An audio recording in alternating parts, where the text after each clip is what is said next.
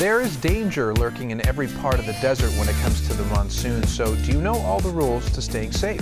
Here to make sure that you and your family are safe are Brian Jones, Floodplain Management Division Manager, and Joseph Cuffari, Floodplain Management Program Coordinator. Thank you so much for being here with us today because we do know it's so important. Well, thank you for having yeah, us. thank you guys for having us. So for some people who are moving to Tucson who are out of state, we're, uh, we're obviously in a desert. So is flooding a real threat to them? Oh, absolutely, yeah. So um, using uh, some federal data actually from 2006 to 2016, Pima County was determined to be the eighth deadliest county in, in America for flooding. And a, a, lot of those deaths occur on the road, people trying to cross flooded washes.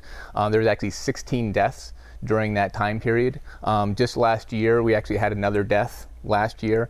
Um, and I think last year, uh, Northwest Fire Department alone did 20 or over about 20, 21 swiftwater rescues. Wow. So it's a continuing problem, and, and we're trying always to get that message out. You know, the city of Tucson puts that message out, the Department of Transportation, but every year this this happens, and so we're here to try to convince people to, to be safe when they're out there and, and they don't end up uh, getting washed away or, or even killed. Mm -hmm. And we have to remind people too that even just a couple or a few inches can, can really be devastating. And for all those people that drive those big trucks with the big silver things hanging off the back, you think I'm totally indestructible. I can go through this water, but that's not always the case. No, that's not always the case. Um, literally only 12 inches of water can pick up a car, 18 inches can pick up a truck.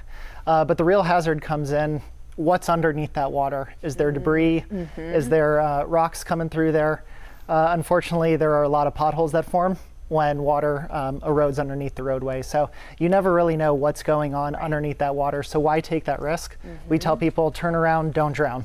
Right, and, and, unfortunately, you see it again and again every year. I think yeah. sometimes people get over, overly confident because they have gone through washes before and everything has been fine. But washes can fill up so quickly, right? I mean, absolutely. you can have walls of water come through within a matter of seconds. Yeah, absolutely. And it doesn't even have to be raining where you're at in order for a flash flood to come and actually cause a problem for you. And you know, it can be raining up in the up in the mountains, up in uh, Mount Lemmon water comes down off the mountain front and, and flows across the road and, and it could be sunny where, mm -hmm. where people mm-hmm. are. Well, obviously, if you know, if you're headed home after a long day and you see this big flood in, in in your way on the road, it can be easy to just say, well, I'm frustrated, I want to get home, I'm just going to drive through it. But there are some tips that you have for people to protect themselves, like one, for example, turn around, don't drown. But what are some mm -hmm. other things they can do to protect themselves? So I think that, you know, the first thing we want people to do is, is learn your flood risk. So, you know, contact your local floodplain jurisdiction. Um, it would be like maybe City of Tucson, Town of Oro Valley, Town of Marana. If you're in an unincorporated Pima County, there'd be us at the Flood Control District. Mm -hmm. uh, so learn your flood hazards and your flood risks and, and kind of know what to expect. Um, and then no routes. You know, if you're trying to get home, no alternate routes to get to your house or mm. to work. You know, and plan those ahead of time so that you know, hey, if I can't get across this, I can go this other way. Um, and then also for folks who are uh, in, in, you know, maybe their property floods, you know, get flood insurance. Uh, you don't have to be in a FEMA floodplain to get flood insurance. And also for, for folks who might be renters, mm. a lot of people don't know that if you're a renter and your, your place you're renting is in a floodplain, you can get flood insurance for your content so that if, if that rental mm. floods, you know, your TV and your couch and all that stuff can, can be covered. And so it's um, pr protecting yourself in that way and just knowing the hazards. Mm -hmm. And, you know, we're also putting our EMTs and our first responders at risk right. too when some Absolutely. of these things happen. So let's talk about some of the tools and resources. Um, you said you can contact, you know, Oro Valley and all these different places to get the information. We are also doing a lot of studies that I think are pretty interesting. So tell us what you brought us. So uh, we just brought some standard outreach items that we have. We have a squeezy ball, um, we have our bag, and we hand these out at our outreach events because really kids uh, are our targeted focus because mm. they can um, go home, they can talk to their parents about it, uh, kids will talk to other kids, uh, and then they'll talk to their schools. So if we can get the logo out there, get kind of that message. Uh, we've also developed a rain gauge so you can mm-hmm.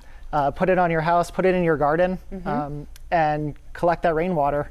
we've had a lot of feedback from children uh, saying, hey, we love this. Uh, my house got an inch of water and the next day got two inches. Right. Um, so really just, yeah, trying to get that outreach towards mm -hmm. those kids. And obviously tools and resources, you wanted to add something to that. Yeah, yeah, and actually I just want to add, you know, one of the reasons why we're here, you know, again, we as government agencies, we're putting out this message all the time and all the time people are still doing these dangerous activities And you know, so I want to just point out that the most important people out there are your audience because you know, people are going to listen to their friends and their neighbors and their relatives more than they're going to listen to us. Mm-hmm. They're, you know, they're trusted sources. And so having more people out there, more ambassadors out there talking about the flood risks and making, trying to convince their relatives and their friends to be flood safe That's is, right. is really important. And they can go, um, you know, to find out about flood safety, we have a website, um, pima.gov slash be flood. Um, it's all one word, be flood safe is all one word. Um, and I'll and point them to that now. It's it's a lot of invaluable information. You guys mm-hmm. uh, always uh, help us stay safe every year. So thanks yeah. for being here. absolutely. Thank you for having you us. Guys. If you'd like to learn more about being safe this monsoon, visit pima.gov slash befloodsafe or call 520-724-4600.